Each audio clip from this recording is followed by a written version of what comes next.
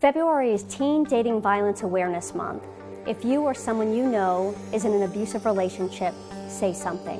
One in 10 high school students has been purposefully hit, slapped, or physically abused by their boyfriend or girlfriend, and that's unacceptable. Don't suffer in silence.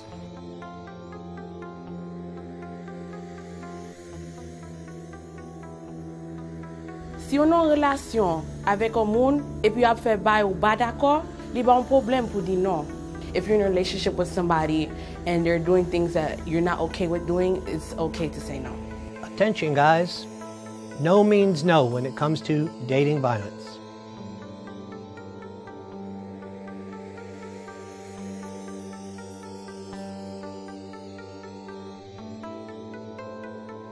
Help is always available. You can come to me with just about anything. I'm your classmate and I care. El verdadero amor no cruza la línea del respeto. Si no hay respeto, no hay amor. True love does not cross the line of respect.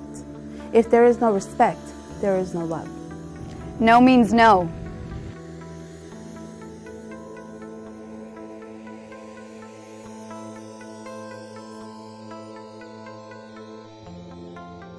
Si alguien te está lastimando, eso no es amor.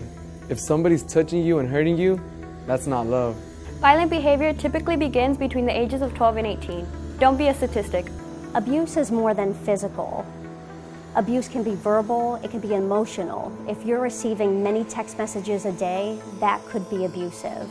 If your um, partner or boyfriend or girlfriend is controlling who you see and where you go and how you dress, that also can be abusive.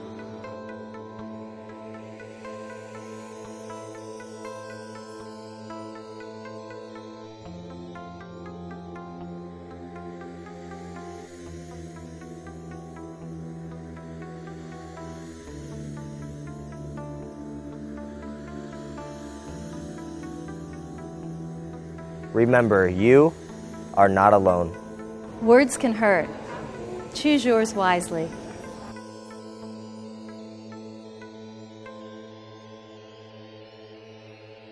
Here's the thing about it can never happen to me.